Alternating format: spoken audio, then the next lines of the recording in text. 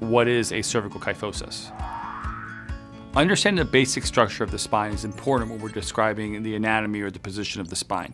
And the first thing we want to understand is that the spine is, is made of, of bones stacked upon each other, and these bones are called vertebra. And these bones are also separated by something called intervertebral discs, or like they're like spacers in between every bone. So you have a, a bone, then you have a disc, and you have a bone on top of that.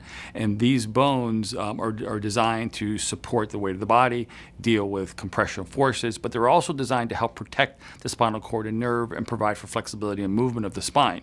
The spine also has natural and healthy curvatures, and this is what makes the spine so strong.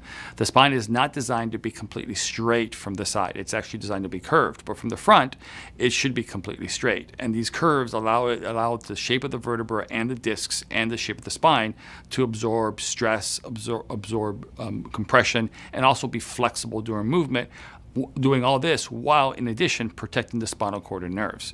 So when we look at the basic sections of the spine, we understand that the neck is what we refer to as the cervical spine. The thoracic or upper and middle back is described as the thoracic spine, and the lumbar spine is the low back. And when we look at each of these areas, there's different curve or normal curve types associated with them.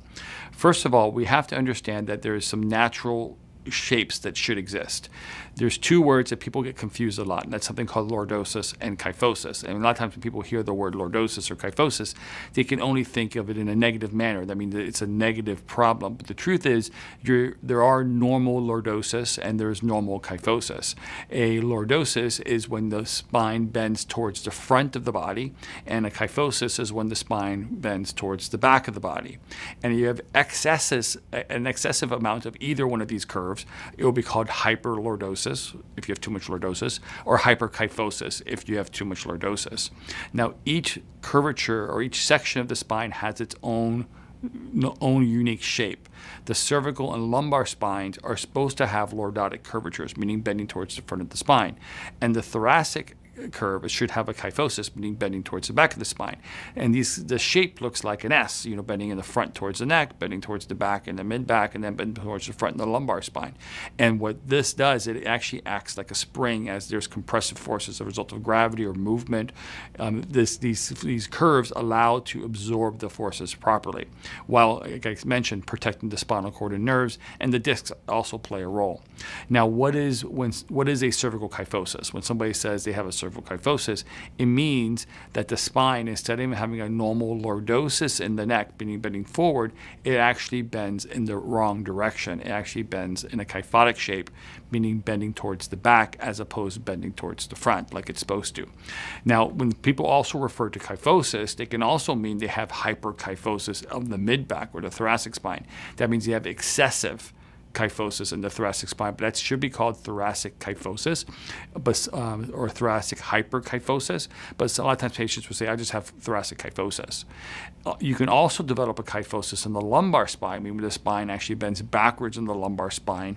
And instead of having that normal lordosis, it bends backwards. But typically, a cervical kyphosis means when there is a kyphotic curve in the neck where there should be a lordosis. Now, the problem is the symptoms of cervical kyphosis can be very widespread. Now, a lot of times you can see some postural key um, differences from a normal person who has a lordosis versus somebody who does. And the classic thing is forward head posture. The head tends to be forward. Now, it doesn't always have to be, but it, it could tend to be forward. And they, this could be called that tech neck type of presentation where the head is forward relative to the torso, relative to the shoulders. Also, the upper back can be more rounded. Now, that's true. If it's excessively rounded in the upper back, patients can have more likely to have a cervical kyphosis. But the opposite is true. If somebody has has too little kyphosis in the mid back, meaning hypokyphosis of the thoracic spine. Their mid back is very flat. They can also develop a kyphosis in the neck as well. So both extremes can lead to the same problem of a cervical kyphosis. They also tend to have a lack of range of motion or stiffness in the spine. Um, that tends to be associated with cervical kyphosis, but there can also be other symptoms that are just not just postural.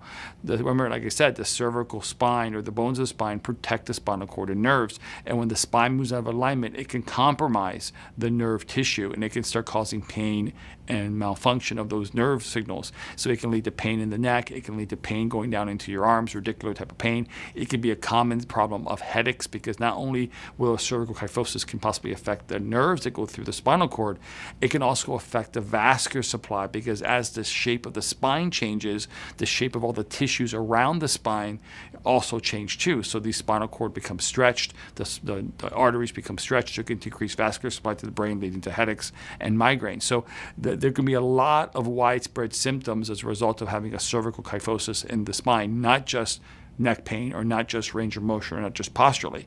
So if you know you have a cervical kyphosis and something, this is bending in the wrong direction, this position predisposes you for lots of future issues because if the spine's not in the right alignment, it's going to abnormally go through some degenerative findings. So it predisposes you for future degeneration, future disc issues, future neurological issues, future vascular supply issues to the, to the head and, and neck. So it predisposes you to many, many future issues. So if this is something that you know you have, it's something that you don't want to leave uncorrected. Cervical kyphosis can lead to serious concerns uncorrected. So correcting the, the cause, which is restoring the normal lordosis back into the neck, restoring that normal lordosis as best as possible is done effectively by doing a structural rehabilitation program that addresses that addresses the shape, not just the symptoms of cervical kyphosis. Meaning, if you have a little bit of neck, if you're having some neck pain or some stiffness, and you just do some things to improve flexibility, but the shape of the spine is still incorrect, it's still going to continue